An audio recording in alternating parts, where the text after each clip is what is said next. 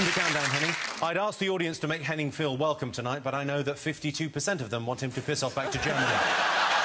it is great to have you here tonight, Henning, because it'll be good to have a hostage when the war begins.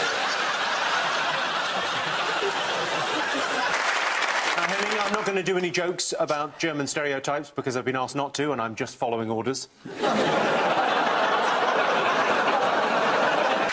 Does have a disadvantage playing Countdown in his second language. Of course, maybe things would be different if his granddad had fought a bit harder.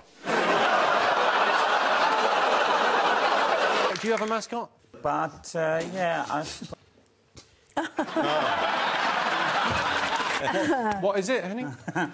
that's the closest you'll ever get to it. Uh, yeah, back home, everyone's got one. How many have you got again? Uh, of them, four. Four World Cups they've won. Mm. Four World Cups. Yeah. How many wars?